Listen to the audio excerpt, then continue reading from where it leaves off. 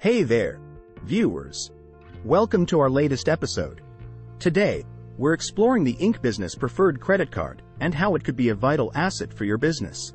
Let's jump right in. Let's start with a basic overview.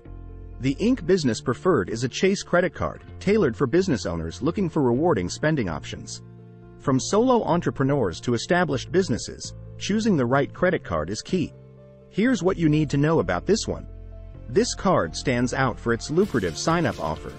Earn a hefty number of points by hitting a spending goal within the initial months. It's more than the initial bonus. You gain points for each dollar spent on travel, shipping, and more, making everyday business expenses more rewarding. Travelers will appreciate the extra value when redeeming points through Chase Ultimate Rewards and the option to transfer points to different travel partners. But there's more. Enjoy additional advantages like protection for your cell phone and travel insurance. And if you have a team, you'll love the no-cost employee cards, complete with customizable spending limits. However, it's crucial to weigh the annual fee against your business's spending habits and needs. Ideal for businesses with solid credit histories, this card is most beneficial for those who can fully utilize its reward categories. To wrap up, the Ink Business Preferred Credit Card is a robust option for businesses, offering substantial rewards and benefits. But, it's essential to match it with your unique business requirements.